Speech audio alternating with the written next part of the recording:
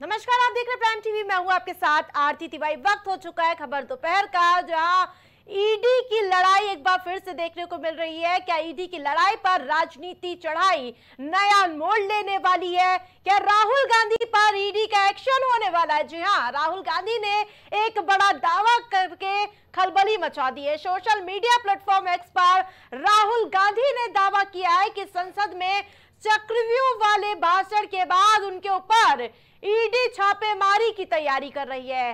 रात करीब दो बजे राहुल गांधी ने एक्स पर पोस्ट किया। उन्हें ईडी सूत्रों ने बताया है कि ईडी उनके खिलाफ एक्शन की तैयारी में है।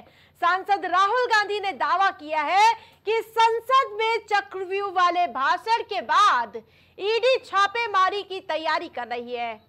वहीं राहुल गांधी ने ट्विटर पर ट्वीट करते हुए लिखा कि सूत्रों के मुताबिक उन्हें यह पता चला है कि ईडी का एक्शन होने वाला है। राहुल ने लिखा कि दो में से एक को मेरा चक्रव्यूह वाला भाषण पसंद नहीं आया।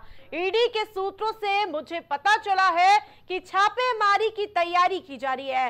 मैं खुले दिल से इंतज़ार कर रहा हूँ। नाश्ता मेरी तरफ़ से होगा। जी हाँ बाहें खोल कर राहुल गांधी इंतज़ार कर रहे हैं ईडी का। उन्होंने ट्विटर के माध्यम से बताया है। और उसके बाद सबसे पहले वो बयान आपको सुना देते हैं, जिसके बाद राहुल गांधी को छापे की आशंका और उसके बाद गिरिराज सिंह ने जो पलटवार किया है, पहले वो बयान आपको सुना देती हूँ।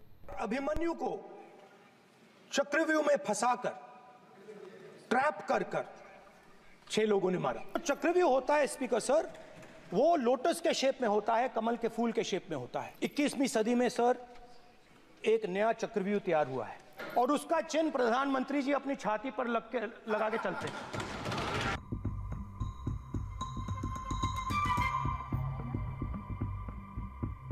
स्पीकर सर हज़ारों साल पहले हरियाणा में चक्रव्यूह के बारे में थोड़ी रिसर्च की और पता लगा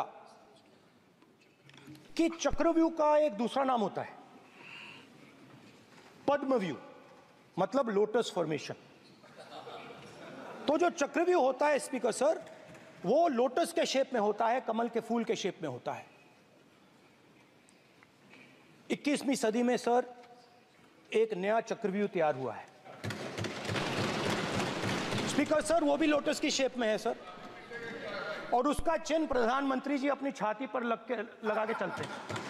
की बात करता है, संविधान लेकर के सदन में आते हैं, मैं चुनौती देता हूँ कि ये राहुल गांधी बताएँ, कौन अधिकारी ने इनको इनसाइडर में फ़ोन किया।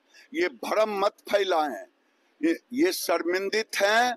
अनुराग ठाकुर के प्रश्नों का जवाब नहीं दे पाए। इनके परदादा पिछड़ों को धोखा दिया। जवाहरलाल नेहरू इनकी दादी धोखा दी मंडल कमीशन के रिपोर्ट पर। इनके पिताजी ने हाउस में रोका। इन्होंने नहीं उसको उजागर किया। ये पिछड़ों के बड़े दुश्मन हैं। नया नैरेटिव करने में, झूठ की खेती करने में माहिर हैं। देश का दुर्भाग्य है, इतना बड़ा झूठा आदमी पैदा वही आपने सुना गिरिराज सिंह को झूठ फैलाने का आरोप लगाया गया है बीजेपी की ओर से। उन्होंने कहा कि ये गलत नैरेटिव फैलाया जा रहा है राहुल गांधी की ओर से।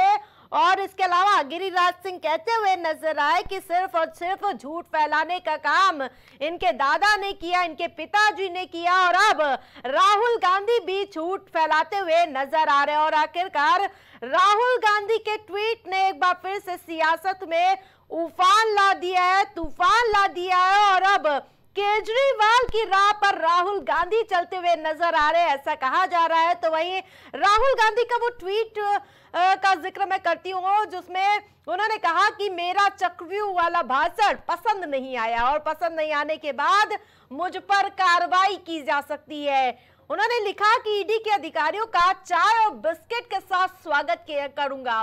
भाई राहुल गांधी ने कहा कि हम बाहें फैला कर इंतज़ार कर रहे हैं कि जब ईडी आएगी तो चाय बिस्किट मेरी तरफ़ से होगा। तो वहीं राहुल गांधी के इस बयान के बाद शिवसेना और इसके अलावा अन्य इंडी गठबंधन के सहयोगी राहुल गांधी का समर्थन करते हुए नज़र आ रहे हैं और इसके साथ ही केजरीवाल की पार्टी भी राहुल गांधी के समर्थन में है। तो वहीं इस मुद्दे को लेकर इंडी गठबंधन एक साथ नज़र आ रहा है। शिवसेना भी इसके समर्थन में है। आपको बता दें कि डर तो आखिरकार होना ही चाहिए, क्योंकि इससे पहले केजरीवाल, संजय सिंह, मनीष सिसोदिया ने भी ट्वीट किया था और उसके बाद ईडी का एक्शन देखने को मिला। उसके बाद का अंजाम सभी ने देखा और अब राहुल गांधी ने भी एक बार डर जता दिया है कि ईडी का एक्शन होने वाला है। तो वहीं क्या ईडी की लड़ाई पर राजनीतिक चढ़ाई नया मोड़ लेने वाली है? क्या राहुल गांधी पर ईडी का एक्शन होने वाला है? राहुल गांधी का ये चक्रव्यूह है या फिर चक्रव्यूह में राहुल गांधी फंसेंगे? ये आगे की तस्वीर अपने आप में साफ़ हो जाएगी, लेकिन जो आज देर रात से सियासी सरगर्मी इस ट्वीट से बढ़ गई है, उसके बाद सियासी तूफ़ान आ चुका है। वार पलटवार का दौर देखने को मिल रहा है। एक तरफ़ भारतीय जनता पार्टी इस पर हमलावर है।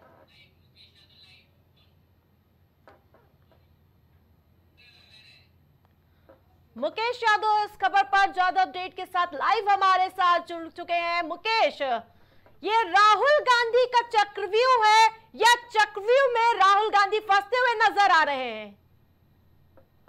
देखिए मौजूदा समय में जो विपक्ष है, मौजूदा समय जो विपक्ष है वो ताकतवर है और उनकी सांसद के अंदर जो उनकी सांसद के सदस्यों की संख्या है उसमें भी बढ़ोतरी हुई है और जाहुर से जाहुर, ज़ाहिर।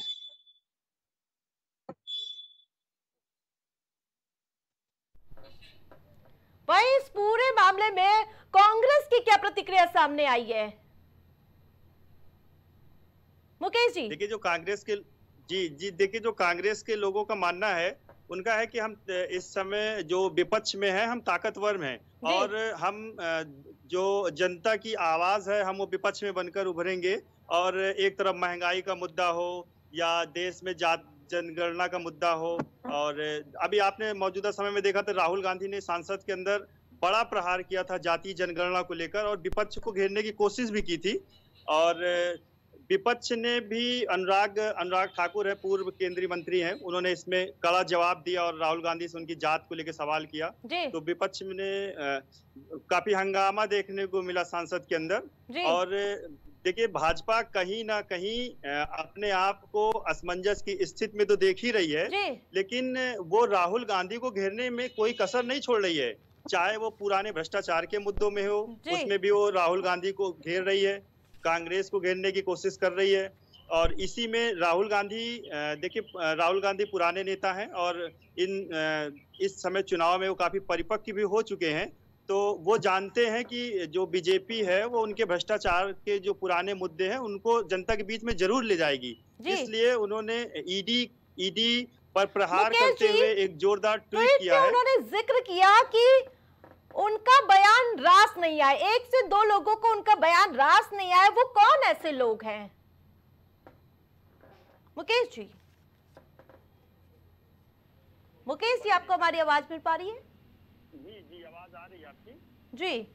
देखिए राहुल गांधी जी मौजूदा समय में देश नेताओं में गिने जा रहे हैं। और ज़ाहिर सी बात है जब देश का ये माहौल हो और विपक्ष एक मज़बूत विपक्ष विपक्ष के रूप में हो तो ज़ाहिर सी बात है वो देश के प्रधानमंत्री या गृह मंत्री कहीं ना कहीं उनका इशारा वहीं पर है और वो सीधे उनको कड़ी टक्कर दे रहे हैं। जी बिल्कुल। केजरीवाल हो मनीष सिसोदिया हो या फिर संजय सिंह उन्होंने भी पहले ट्वीट किया कि ईडी हमारा पीछा कर रही है, यानी कि हमारे ऊपर सिकंजा कर सकती है। उसी के कुछ दिन बाद क्या होता वो हर कोई देखता है। केजरीवाल अभी भी गिरफ़्तार है। क्या लगता है, राहुल गांधी का डर जायज़ है? देखिए कहीं ना कहीं विपक्ष को इस चीज़ का डर तो है। अभी केजरीवाल जी जेल में हैं। संजय संजय सिंह अभी जेल से बाहर आए हैं। आपने अभी मौजूदा समय में संजय सिंह का एक बयान सुना होगा। जब वो कहते हुए नज़र आ रहे थे कि अभी मैं जेल गया हूँ अब आगे आप विपक्ष को कह रहे थे भाजपा के लोगों कह रहे थे कि अब आपकी जेल जाने की तैयारी है तो इसलिए जेल का बजट बढ़ा दिया जाए। तो कहीं ना कहीं ये पार्टियाँ जो हैं वो अपने आप को जनता के सामने ले जाकर बिल्कुल साफ़ सुथरा बताने की कोशिश कर रही हैं। वो ये कह रही हैं कि हमारे साथ गलत हो रहा है हमें जबरन जेल में डाला जा रहा है और वो बीजेपी के लोगों को घेरने की कोशिश कर रही हैं। जी। मुकेश विपक्ष हर मुद्दे पर एक साथ नज़र आ रहा है। राहुल गांधी रात को ट्वीट करते हैं उसके बाद शिवसेना से लेकर सभी उनके समर्थन में उतरते हुए नज़र आ रहे हैं और सरकार पर हमलावर है। देखिए जो विपक्ष है वो जानती है कि अगर हम लोग आपस में एकजुट नहीं होंगे तो हम लोग कहीं ना कहीं सभी अभी चाहे झारखंड की बात रही हो वहाँ भी देखिए बड़ा उठापटक देखने को मिला। जी। कि दिल्ली में भी उठापटक देखने को मिला। उत्तर प्रदेश में भी जल्द कुछ उठापटक देखने को मिल सकता है। जी। और ये सब चीज़ें हैं जो विपक्ष जनता के बीच में बुलाना तो चाहता है। कह रही है राहुल गांधी झूठ फैलाने का काम कर रही है। जिस प्रकार उनके दादा उनकी दादी झूठ फैलाती थी उसके बाद उनके पिताजी झूठ फैलाते थे और अब राहुल गांधी झूठ फैलाने का काम कर रहे हैं। बीजेपी देखिए बीजेपी एक अनुशासित पार्टी भी रही है और उसका जो बूथ लेवल का कार्यकर्ता रहा हो चाहे प्रदेश लेवल का कार्यकर्ता रहा हो वो एक बड़ा अनुशासित कार्यकर्ता रहा है। और बीजेपी जो राहुल गांधी और इनके पार्टी के लोग जो बोलते हैं उन चीज़ों का मंथन करने के बाद एक बयान जारी करती है। आप सोशल मीडिया की टीम हो या सोशल मीडिया में कांग्रेस के खिलाफ कोई बातें हो तो बीजेपी साक्ष्यों के साथ उस चीज़ों का खंडन करती है जिससे जनता के बीच में एक अलग संदेश जाता है। तो कहीं ना कहीं बीजेपी राहुल गांधी और एनडी गठबंधन को घेरने का काम तो कर ही रही है। और इसमें ज़ाहिर सी बात है जो इनकी बातें आती हैं तो उनको लोगों बिल्कुल को बीच में ले जाते हैं। इस ट्वीट ने सियासी भूचाल तो ला ही दिया। अब आगे देखना होगा कि आखिरकार राहुल गांधी पर ईडी का सिकंजा कसता है या फिर चक्रव्यूह में राहुल या चक्रव्यूह में फंसाते हुए नज़र आए। राहुल तो तमाम अपडेट के लिए बहुत बहुत धन्यवाद आपका।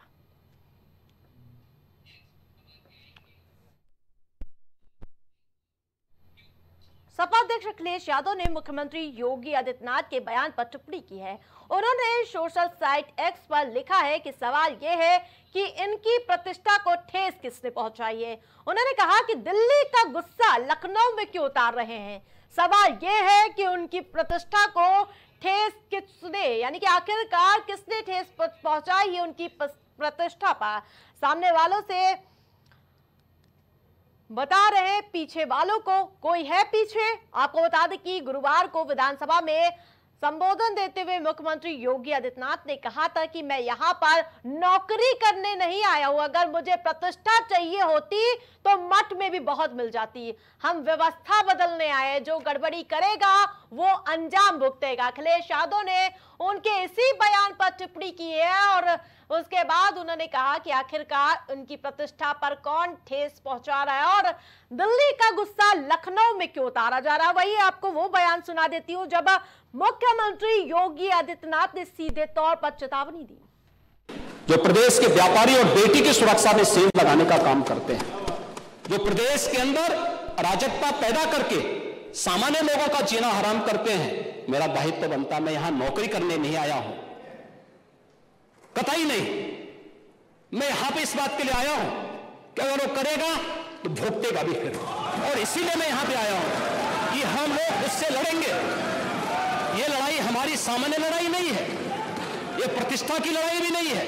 मुझे प्रतिष्ठा प्राप्त करनी होती है तो मुझसे से ज़्यादा प्रतिष्ठा अपने मठ में मिल जाती है। कोई आवश्यकता नहीं मेरे लिए। लेकिन इस प्रकार के गुमराह भरे तथ्यों को लेकर क्या बातें हैं? आप लोग बोलते हैं इस प्रकार के अनावश्यक बातों की तरफ़ आप ध्यान कर आप, आप इस प्रकार की चर्चाएँ करते हैं। वही इस बयान के बाद लगातार पलटवार देखने को मिल रहा है तो वही डिप्टी सीएम ब्रजेश पाठक के लगातार बयान को लेकर अखिलेश यादव हमलावर नज़र आ रहे और उसी के बीच चुटकी लेते हुए नज़र आए अखिलेश यादव कि आखिरकार दिल्ली का गुस्सा लखनऊ में क्यों उतारा जा रहा है। तो वही आपको बता दें कि लगातार इस पूरे मामले में सियासी बयानबाजी देखने को मिल रही उप मुख्यमंत्री केशव प्रसाद मौर्य के। भाजपा कार्य समिति में सरकार संगठन से पड़ा है के बयान के बाद भाजपा में भूचाल आ गया था। हालाँकि यूपी में विधानमंडल में मानसून सत्र के पहले मुख्यमंत्री योगी आदित्यनाथ के साथ दोनों उप मुख्यमंत्रियों ने मीडिया को संबोधित किया था। यूपी के मुख्यमंत्री योगी आदित्यनाथ के प्रतिष्ठा वाले बयान पर अखिलेश यादव ने पलटवार किया है और सोशल मीडिया प्लेटफॉर्म पर कहा था कि, यानी कि ट्वीट किया है कि दिल्ली का गुस्सा लखनऊ में क्यों उतारा जा रहा है? सवाल यह है कि इनकी प्रतिष्ठा को आखिरकार किसने ठेस पहुंचाई है? वहीं से पहले विधानसभा में तीखे तलख देवर दिखे थे। मुख्यमंत्री योगी आदित्यनाथ उन्होंने साफ़ तौर पर चुनौती दी है कि यहाँ मैं नौकरी करने नहीं आया हूँ, जनता की सेवा करने आया हूँ। उसके बाद अब मुख्यमंत्री योगी आदित्यनाथ के बयान पर पलटवार करते हुए नज़र आए अखिलेश यादव।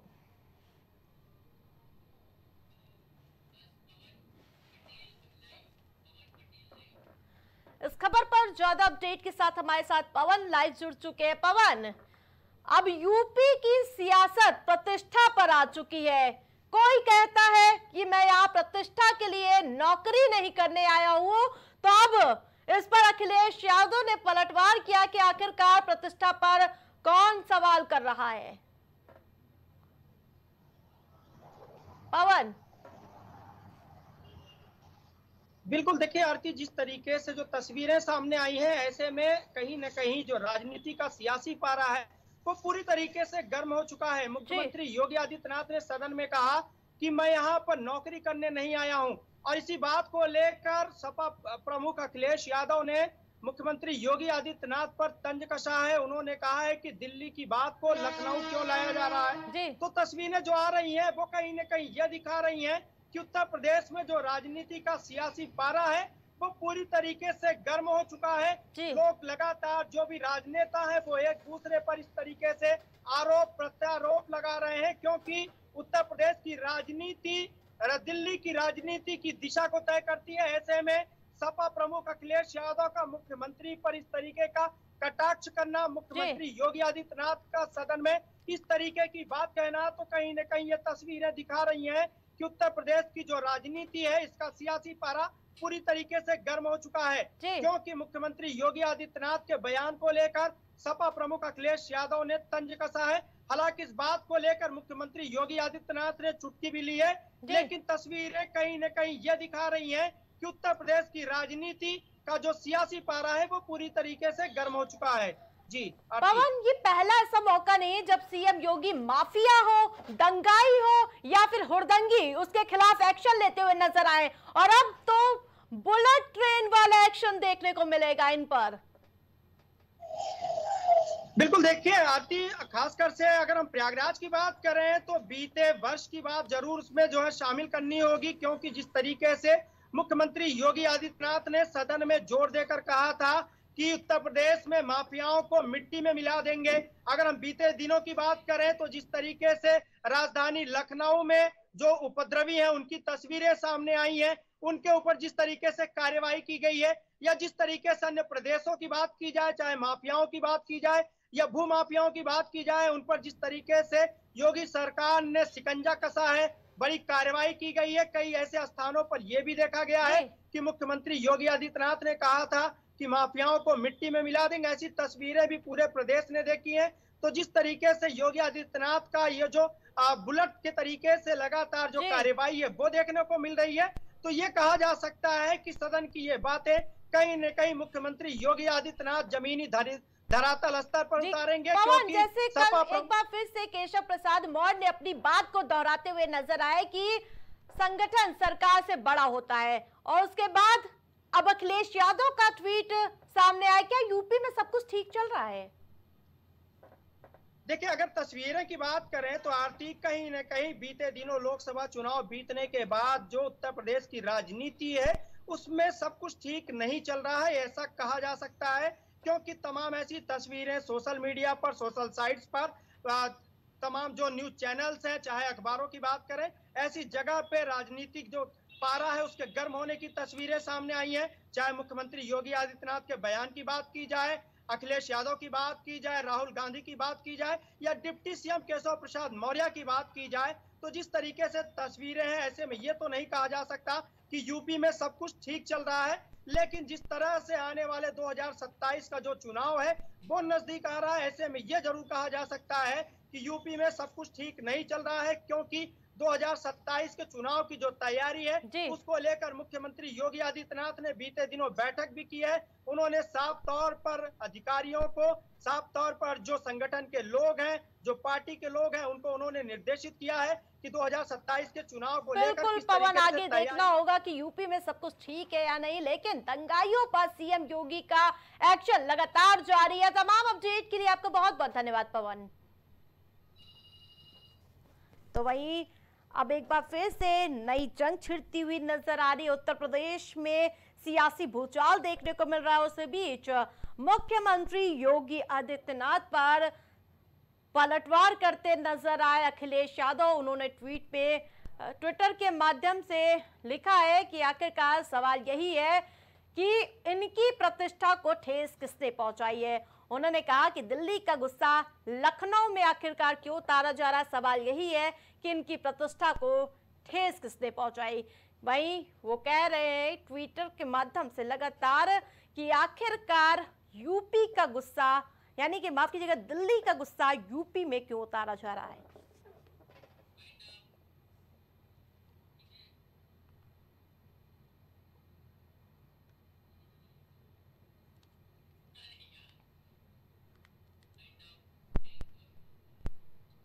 खबर दोपहर में फ़िलहाल इतना ही देखते रहे प्राइम टीवी